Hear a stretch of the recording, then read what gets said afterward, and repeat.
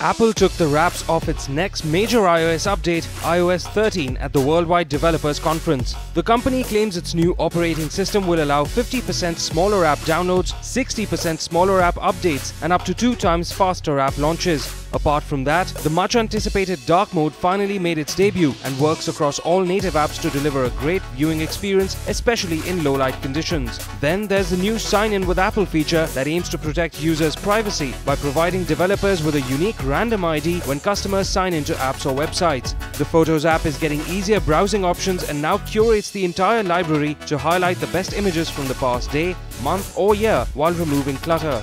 Apple also revamped its Maps app by adding the Look Around feature that delivers beautiful street level imagery of a city. It's basically Google Street View but made by Apple.